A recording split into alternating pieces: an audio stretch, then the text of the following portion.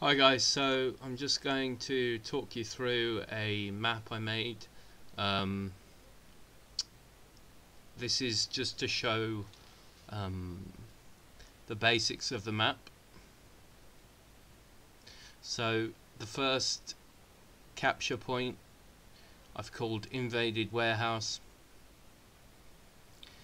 I guess the idea here is it's a American um, forward base, but the Viet Cong have come in and won it back. Yes, I am using lots of bots, and just ignore the lag. There's a few bits of lag on here, just ignore it. Um, that's my computer, not the level. Um, so yeah, there's there's a lot of, um, as you can see, like uh, mowing them down. That's because I'm using bots. Bots make it a lot easier, as anyone will know. Um, but I believe this is a big enough area to be interesting. It's a really large warehouse. Interesting first objective. Then once the Americans take that, they move on to B and C at the same time. Uh, you can you, you, need to capture both before moving on to uh, the final objective.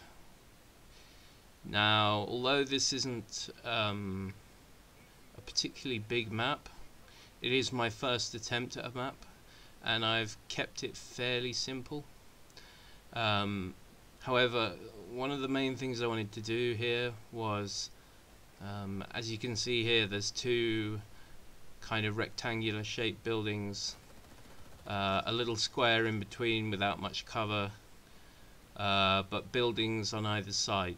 I've kind of called these factories, they're like Vietnamese rubber factory or just producing armaments or whatnot. Um, but the key here is I thought would be interesting is not only does it kind of uh, give you like a very much like a street up front close and personal combat but also there's like a crossfire zone in the middle there I don't think there's much point in using the actual middle ground because it's so uh, sparsely guarded by anything uh, but if you look from one factory to the other where B and C are uh, respectively yeah we just take C there. So uh, if you look at that um, you can see there's like a crossfire zone. So what makes it interesting is while you're taking B you could be uh, your comrade could be shooting across at C and vice versa because uh, they're pretty easy to hit across that little middle section there you can snipe each other um, across the building or you can fight uh, in that kind of um, see as you see on the map the rectangle there. There are two floors. I made two floors to make sure um, there's enough room.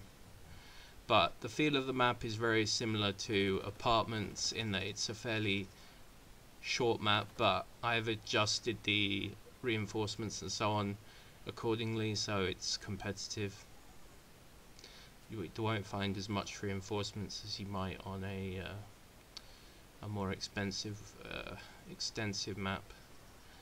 Um, although it's beta you can still use it if you wish to use it and test it and stuff. Go right ahead.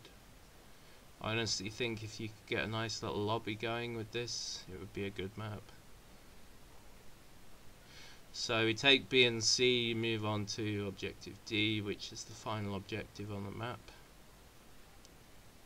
So yeah, as I was saying, a lot of the combat in the factories there, there's a nice little crossfire zone, which I thought would be interesting. Yeah, it was actually uh, inspired partly by the Bloc map from Call of Duty Modern Warfare. Um, it's a different style of game. But uh, I just liked the way you could snipe from building to building on that. Uh, the last one, I wasn't really sure, but I thought maybe this will be like the Viet Cong's like little base or something where they've obviously made some ground and they built a little tree fort. So uh, you can't really see from the lighting here um, but that's actually log a log fort. Uh, I thought you know you got to have a few openings thought about adding blast doors that you can actually explode, but I thought, oh, a bit complicated. I'll just leave some gaps in there where you can see the logs have been felled by uh, airstrikes or so on. So there's a few different little entries there that uh, very very similar to the uh, one of the maps. Uh, I forget the name of it, but uh, there's one where you have to uh, cross over a street. Oh, what's it called? Something similar where there's like two two opposite ends. There's two places where you can go in to attack. Uh, it's not Cu Chi, it's the other one that's sort of Cu Chi is a big one, and then there's uh, good goodness me, I can't I can't even remember it. Um, you probably know the one I mean though. It's like uh, two streets A and B, then you go across a river, and then there's like a sort of citadel with a high mounted gun. That level, that's a bit like the tree fort part here. Uh, as you can see the little canteen where the Viet Cong have been eating, and upstairs there's some bunk beds where they bed down at night. It's like a little Viet Cong barracks here. I'm actually behind the cap here. I'm just trying to show you like some of the scenery. Uh, I struggled here, I, I, think, when I was filming this, just to show you I didn't actually capture the last objective. Uh, but it's fairly easy to capture actually if you put your if you put a lot of effort in. Um, it worked better without bots. It'd be good to see it, this in a lobby somewhere. It'd be interesting. Because I, I think I've tested it quite a lot and I think it's fairly competitive.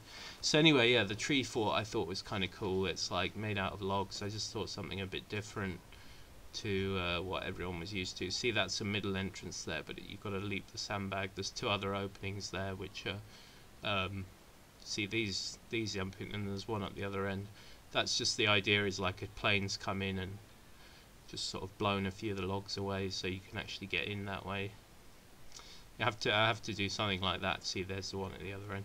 You have to, you have to do something like that otherwise you know it's going to be really difficult to take uh, to take this for the uh, you know. So I didn't have the sandbags here on the other side because I thought that's just aiming into the spawn but I put some on either side here. These these towers along with these walls that you've just seen me running along provide really good uh, uh, like strong defense for the Viet Cong side here so therefore I think uh, with human players who will actually use the walls the bots are thick they don't actually use the walls but a human player using the walls you could hold this objective for a while but uh, if your men get killed, uh, they've got to come back through here. You see at the end of that little circle building there, semicircle, that's sort of where the spawn is on the fi final objective.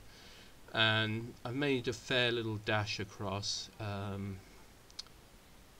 because I believe uh, it has to be a, a little way, otherwise it's just too easy for the uh, Marines uh, sorry, too easy for the Viet Cong. So just showing you a few little bits and pieces around the back of the last objective. Little tree fort there, two towers. You Got some sort of like little rubber plantation thing going on there. Obviously, like um, mm, presentation of the map is a little bit sloppy in places, but it's a lot of work to do all this so you know I think uh, I, I've done enough versions of it now to where I'm I'm happy in terms of just the gameplay. I think it works pretty well now. So it'd be interesting to see if anyone wants to try out playing it you know. As I said it, it's similar in a way to uh, apartments and uh, the sort of building to building fighting is actually similar to Red Orchestra 2 uh, level called Station. And there's not much maps like that on this on this uh, game. Um, but I'll let, leave it to others to judge because uh, you know it's my first map. At the end of the day, I just want to have some fun. But if you fancy, check it out. Cheers, guys.